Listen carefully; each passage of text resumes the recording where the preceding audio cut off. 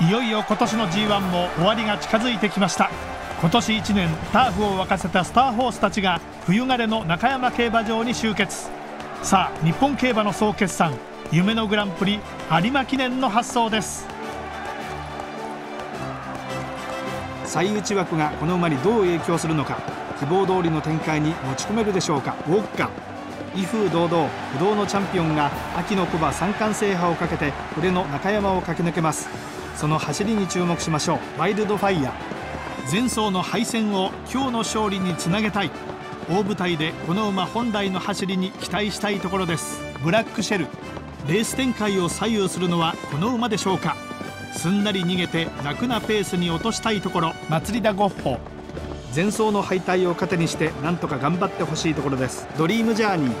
今年牝馬三冠を達成した女王が登場。牝馬ナンバーワンはグランプリのヒロインになれるのかブエナビスタ。この馬の差し足の鋭さはまさに一級品と言っていいでしょう。直線で自慢の末足が炸裂するかポップロック。好位差しがこの馬の新庄。すっと先段につけ理想の展開に持ち込みたいところです。デルタブルース。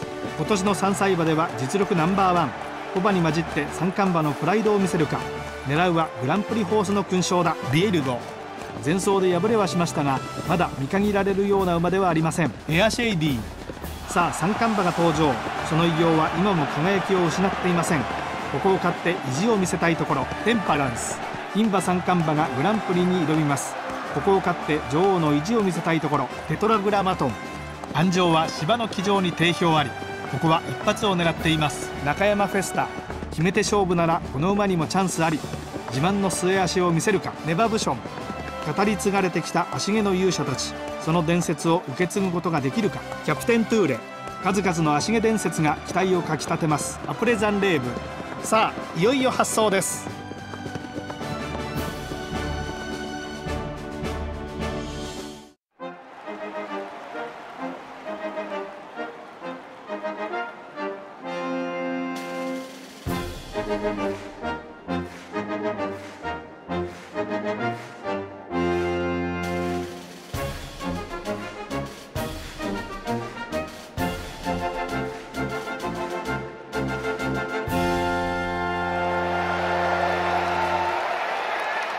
いよいよ今年の G1 も有馬記念で終わりを迎えます。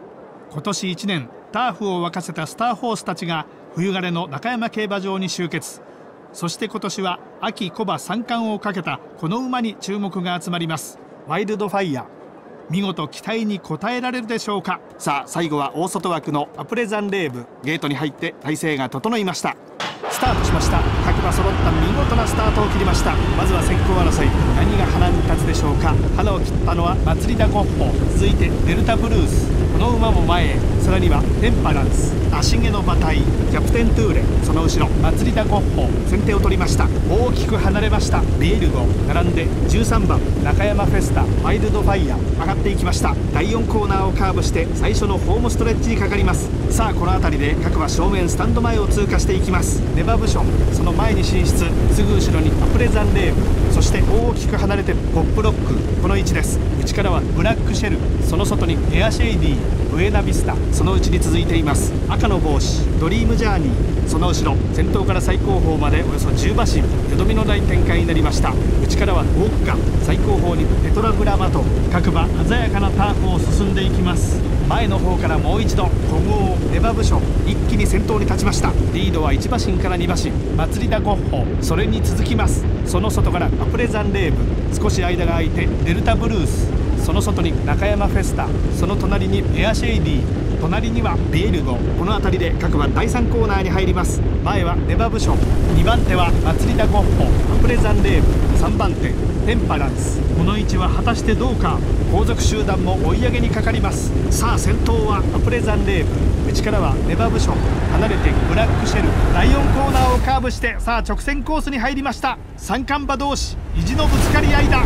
プレザンレー。ブ先頭外からテンパランス。残り 200m を通過してさあ先頭は今度はペンパランス。2番手はブエナビスタ。ペンパランス。ゴールイン。着はブエナビスタ。3着にワイルドファイヤー今年最後の G1 もこの馬でした。宝塚記念に続いて春秋グランプリ制覇。テンパランス。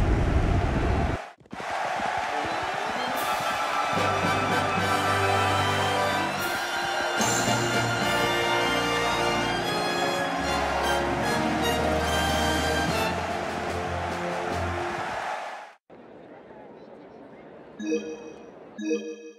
ん